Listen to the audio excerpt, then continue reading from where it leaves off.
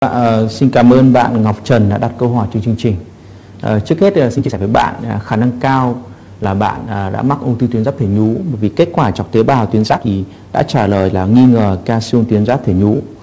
À, tuy nhiên thì bạn đã được mổ và sau đó không may thì mình có mắc cái covid thì câu hỏi được đặt ra là cái cái việc trì hoãn à, khi mà sau khi mà điều trị covid ổn định thì mới điều trị phẫu thuật tuyến giáp thì có ảnh không?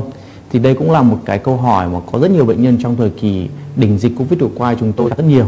Và chúng tôi thấy được rằng là uh, cái việc trì hoãn cái việc ờ, vài tuần lại uh, sau khi bệnh covid ổn định thì đối với ung thư tuyến giáp thể nhú hầu như không có ảnh hưởng gì. Lý do là ung thư tuyến giáp thể nhú thì tiến triển rất là chậm. Uh, do vậy là cái việc uh, bạn có thể yên tâm rằng rằng là uh, điều trị covid ổn định sau đó mới tiến hành phẫu thuật.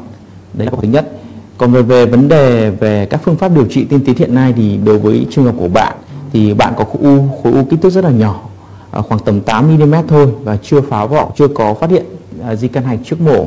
Do vậy như tôi đã chia sẻ từ trước thì có một phương pháp à, rất tiên tiến hiện nay đó chính là phương pháp cắt tuyến giáp nội soi qua đường tiền đình miệng, rất là tốt vẫn đảm bảo sạch sẽ, được tế bào ung thư và đem lại kết quả thẩm mỹ rất là cao. Còn về phẫu thuật chung một tuyến giáp thì một câu hỏi đặt ra đó chính là à, phẫu thuật tuyến giáp có những tai biến biến chứng gì không? Thì xin được trả lời bạn đó chính là bất cứ cái can thiệp nào bất cứ cái phẫu thuật nào trên cơ thể đều có những cái tai biến biến chứng nhất định. À, tuy nhiên đối với ung thư tuyến giáp thì người rất là may rằng là những cái tỷ lệ gặp những cái tai biến biến chứng rất thấp. Ở trong phẫu thuật uh, mổ mở tuyến giáp hoặc là phẫu thuật nội soi đều có những cái tai biến biến chứng hay gặp nhất đó chính là một là chảy máu.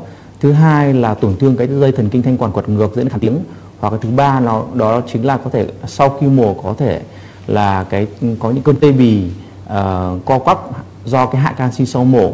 Tuy nhiên rất may mắn rằng là những cái tỷ lệ tai biến biến chứng này rất là thấp. Do vậy là uh, bạn hoàn toàn có thể yên tâm. Và xin được chia sẻ với bạn thêm đó chính là uh, những cái tai biến biến chứng này cũng thường là chỉ mắc cái tạm thời thôi và thực thường hồi phục lại sau khoảng tầm 3 cho đến 6 tháng. Do vậy bạn hoàn toàn có thể yên tâm rằng là để có thể chữa bệnh. Uh, xin cảm ơn câu hỏi của bạn.